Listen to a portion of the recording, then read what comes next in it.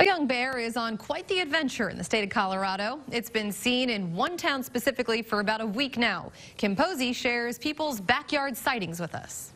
Neighbors here have some amazing video of this bear going yard to yard to yard. Wildlife officers say the bear is probably finding food in trash cans and bird feeders, and that's why it's still here. Oh my God, he's in our backyard. Sharon Krupp could not believe it when she spotted the young bear in her backyard. He's been around for the last like several hours in all these backyards along here. He's apparently going in swimming pools. I look up and the bear is walking across my brick wall fence. Susie Finley took a picture of the bear.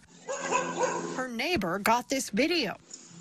And around the corner, the bear came right up onto this patio. You taking my bird seed? The bear looking for food and finding it.